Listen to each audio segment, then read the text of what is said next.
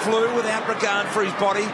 McLean wide. Oh, he's got up a bit sore, Nick Riewoldt too. Lucas has got Simpson on. He's a left footer, remember. But they've got the loose here. What can Simpson do? He needs to find the target. Beautifully caressed to Yarran. Yarran puts on the afterburners. He said, Quill, I'm faster than you. Yarran to Henderson. That is brilliant Carlton play. Henderson finished with a goal. Sensational stuff.